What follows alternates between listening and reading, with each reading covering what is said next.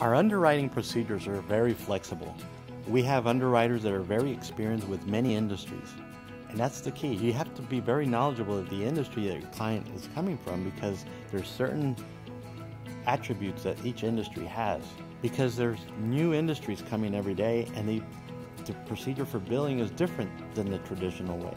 So in order to accommodate, you have to customize your underwriting process and your operations, your back office operations is, has to be trained on how to accommodate this client to get him funded on an ongoing basis without any issues.